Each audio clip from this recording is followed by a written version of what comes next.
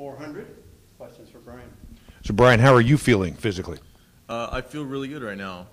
Uh, coming off this hamstring injury is is definitely a, a good feeling, and uh, you know I have soreness here and there and tightness, but that's understandable with the type of injury that it was. And I've just been working really hard with the trainers and with our uh, our weightlifting coach Chris Holder, and getting myself to the the highest level possible that I can, and still being able to. Um, strengthen and have mobility in it as well as uh, having enough strength in there to play and to not re-injure it. And that's probably our biggest uh, concern right now. And and that's the goal to to play the rest of the season keep it healthy and keep it loose and, and stuff like that.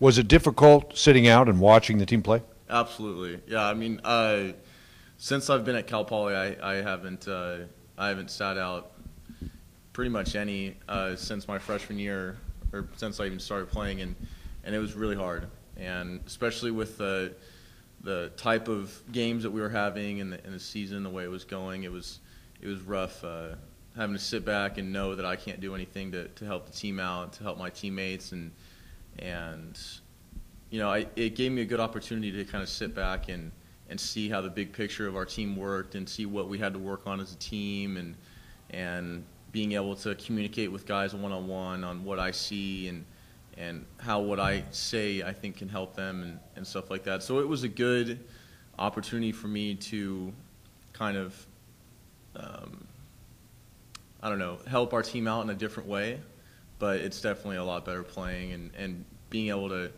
to be in the game on Sunday was there was no better feeling.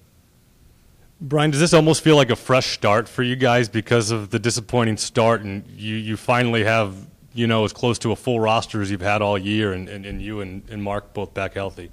Absolutely. I mean, it's uh, it's always good to to you know come back from injury and, and have success right after your first game back and stuff like that. So for me, it's just a it's a good feeling to just to be able to have the opportunity to be out there and play and and I feel like with uh, the good series that we had this weekend against Sac State, and uh, we have three series coming up that should be a, the biggest test that I think we've had since I've been at Cal Poly. And if we have some good success in there, that just leads on into conference and the rest of the season. So I think this is our time for a fresh start, and and having that good feeling going into this weekend is the best thing for us.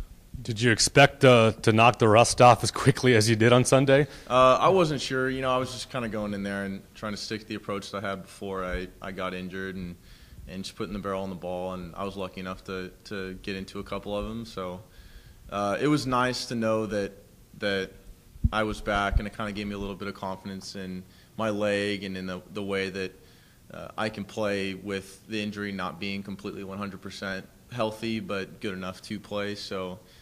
Um, it was good, but you know, this week has been really focused on getting myself back to 100% and healthy. So hopefully, uh, it's just going up from here.